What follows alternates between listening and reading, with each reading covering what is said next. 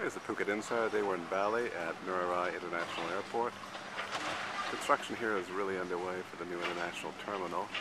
Unlike Phuket, uh, there's a lot of construction already. They're trying to steam ahead in time for APEC. Do that here.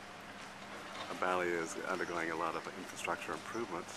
A lot of the same criticisms have been weighed on the island as the same as Phuket with uh, straining traffic and transportation issues. But for now, uh, work on Bali's new international airport is quite frankly underway at a pretty good speed, and expectations are it's going to be finished in time for APEC. It's the Phuket Insider from Ngurah International Airport, Bali.